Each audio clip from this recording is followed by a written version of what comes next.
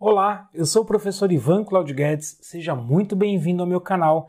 Neste vídeo eu vou responder uma dúvida muito comum, que é sobre resenha, como eu já tenho um outro vídeo explicando como fazer uma resenha, como fazer um resumo crítico.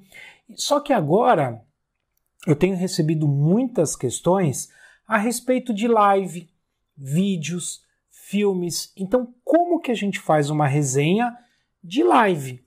De um vídeo ou de um filme. Então, acompanhe este vídeo até o final para não perder nenhuma informação e fazer, obviamente, uma excelente resenha. Se você não for inscrito no canal, se inscreva e ative as notificações. Tem muito material disponível aqui para estudar. Muito bem, a respeito de lives, filmes, vídeos do YouTube, vídeos de qualquer lugar, como é que nós vamos fazer para resenhar este trabalho? Lembre-se que no outro vídeo eu expliquei que a resenha ela é composta por duas partes.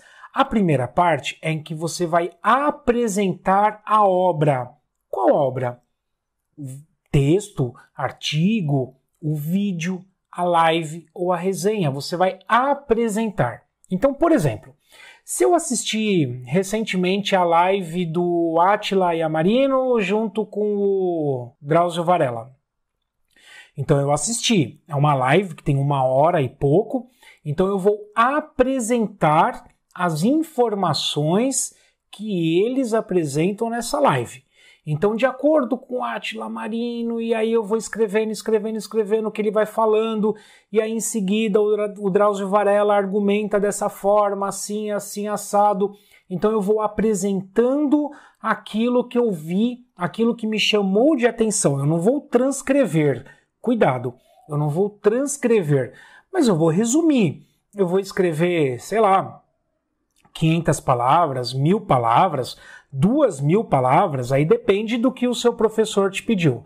Mas eu vou apresentar aquilo de importante que eles disseram na live. Se eu estiver resenhando um filme, eu vou fazer a mesma coisa. Eu vou apresentar este filme. Então, sei lá, vou pegar, por exemplo, De Volta para o Futuro. Tá, eu adoro esse filme.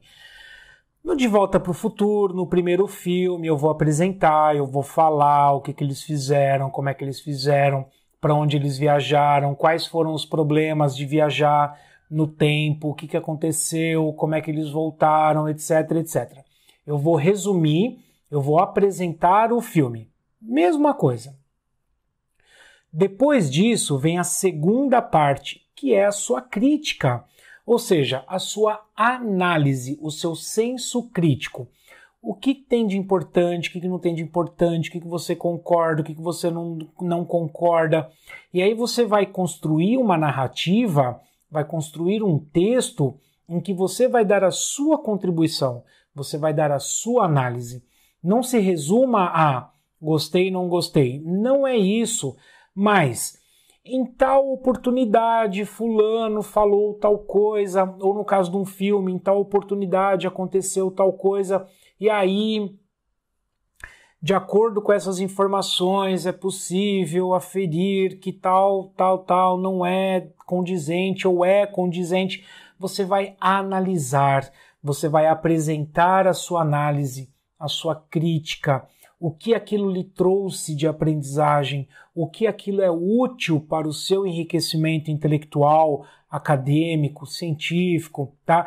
Então a resenha, eu gosto muito de resenha porque ela trabalha com senso crítico, em que você é obrigado a analisar uma obra, seja um artigo, seja um livro, seja uma live, seja um filme, seja um documentário, você tem que fazer esse exercício de enxugar o que é mais importante, apresentar para o leitor, neste caso, muito provavelmente seja o seu professor, né? apesar de que eu conheço excelentes sites que faz resenha de filme, que faz resenha de livro, que faz resenha de artigo.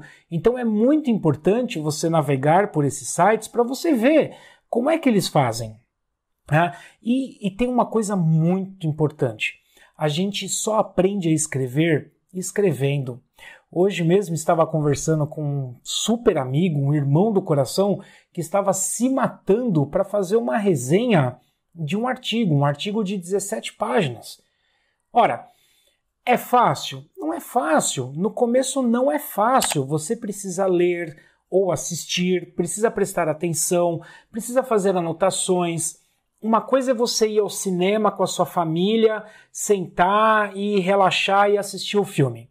A outra coisa é você analisar o filme, é você fazer anotações, é você anotar aquilo que te chamou atenção, aquilo que não te chamou atenção e você construir uma pauta de argumentação com os tópicos para depois você colocar no papel e escrever com as suas próprias palavras, dando ali a sua cara.